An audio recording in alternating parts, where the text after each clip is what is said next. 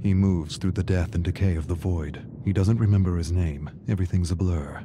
He feels pain in his stomach, in his arms, in his veins. He needs. He needs to find one of those flowers. The nectar, the sweet serum that gives strength. Strength for what? He remembers. The killers. Experimenting on them. Why? Why was he experimenting on them? He doesn't remember. He caused a lot of suffering, but he doesn't feel remorse. He doesn't even know if he should feel remorse. He doesn't feel anything but an ache in the pit of his stomach for power.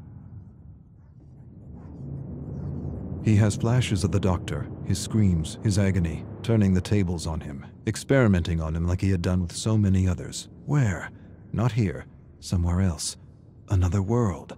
All of these, these survivors, marooned from other worlds. How does he know this? He doesn't remember.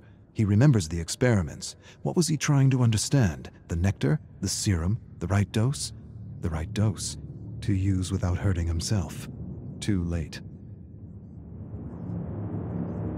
He feels the hunger, not for food or drink, not for talk or fun, for a flower, a single flower, for serum. He knows the entity is watching him. He knows it, feels it inside his bones.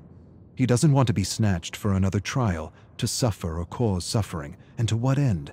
The great horrible mystery of it all. He wants to understand this place. He does. But he senses that to know, to really know, would drive him mad. Madness, that's what this place is. The embodiment of madness. He doesn't want to be pulled into another trial. He wants to return home. He must return home. That's why he was studying the serum. It gave him insight. Insight to what? He doesn't remember.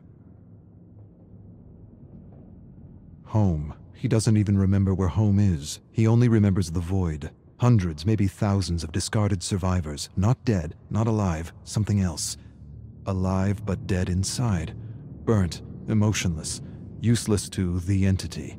He remembers. He remembers rising from the void, finding a flower.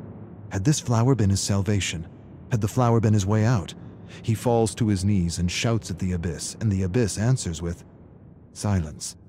The silence is so deafening it hurts. He buckles over, climbs to his knees. He needs serum.